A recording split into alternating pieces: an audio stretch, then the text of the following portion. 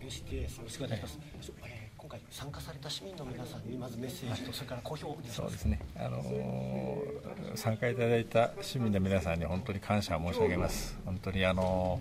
日曜日にもかかわらずね、あの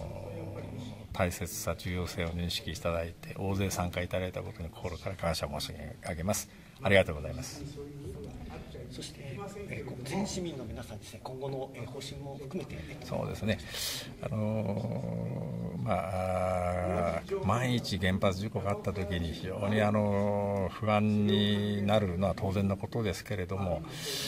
やっぱり、あのいきなりこう無秩序に避難すると、かえって危ない面があります。ですからあのまず自宅を待機をして、あのそれから風向き等を考慮してきちんと避難方向を決めるとそれからいきなりまたあの遠くの県外に行くんではなくてですねとりあえずはあの直岡市広いですから市内に一時待機して、えー、しっかりと避難していくということをこれからも